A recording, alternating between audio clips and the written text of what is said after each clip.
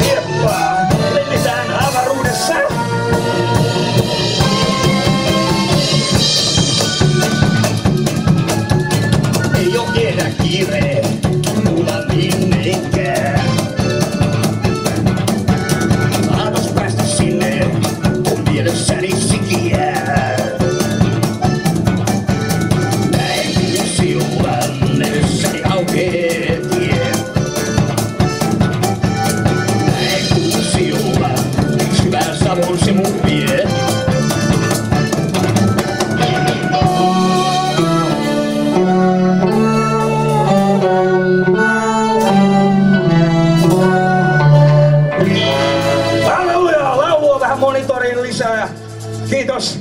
Ja lähtee.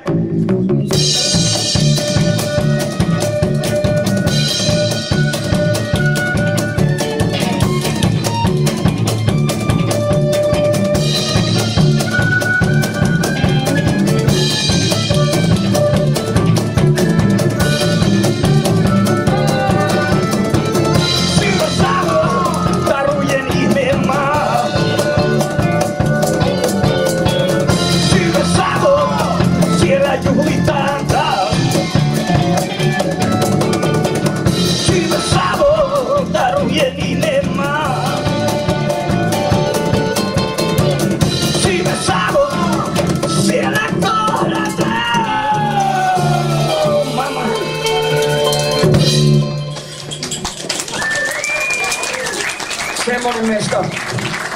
Ja hyvä paikka, tervetuloa.